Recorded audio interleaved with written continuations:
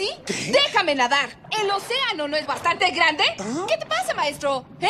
¿Eh? ¿Qué traes? ¿Qué traes? Es muy difícil saber por qué uno llega al doblaje, por qué se queda en el doblaje.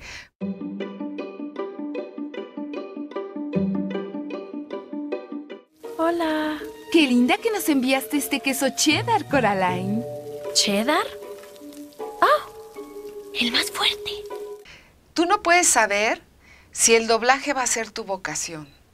Tal vez cuando tú entras a hacer teatro y todo eso, puedes decir, esta es mi vocación.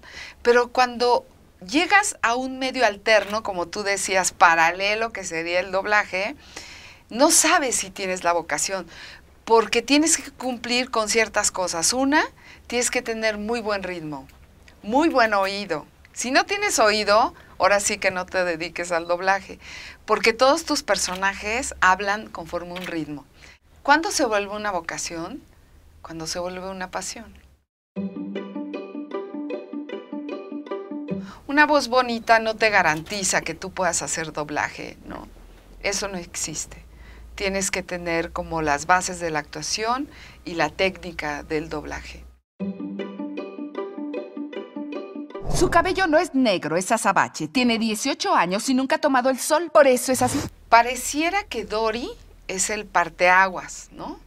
Es como el personaje importante de toda esta, de estos 32 años en el doblaje.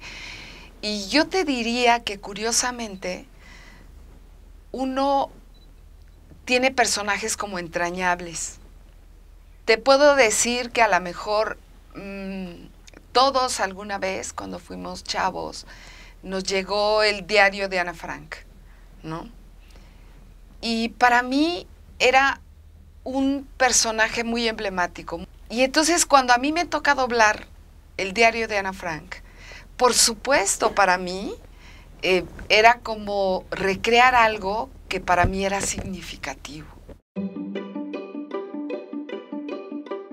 Cuando alguna vez se acunó la frase de el mejor doblaje del mundo en habla hispana es, está hecho en México.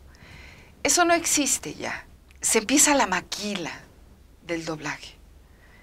Y ya no hay respeto, pues, ¿no? Este, cualquiera. Eh, no es que cualquiera pueda hacer doblaje, pero en cierta medida sí. Se divide, hay un sindicato, ¿no? Que es el de, de la ANDA y el sindicato. Entonces, ¿qué sucede con los clientes? Las series empiezan a ir de aquí.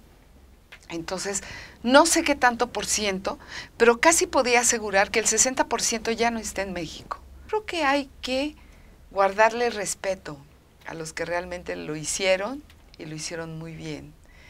Y que no nos podemos quedar durmiendo en nuestros laureles y creo que la gente de doblaje nos tenemos que seguir preparando.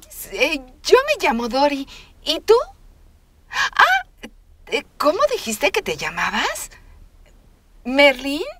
Eh, no, ¿verdad? Marlín. Eso. Te llamas Marvil. Ay, no, ¿verdad? Marlín.